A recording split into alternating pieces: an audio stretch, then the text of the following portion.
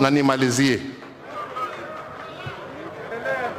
Brother Atuoli na wewe Seneta Malala, musione simba amenyeshewa, ufikirie ni paka.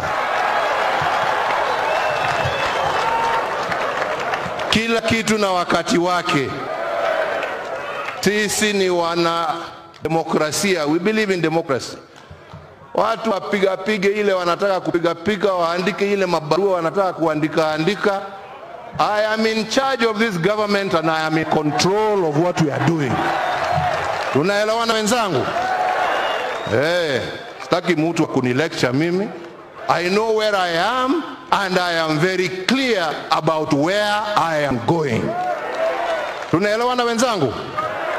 Kwa hayo machache na mengi nasema Mungu awabariki na awalinde. Asante.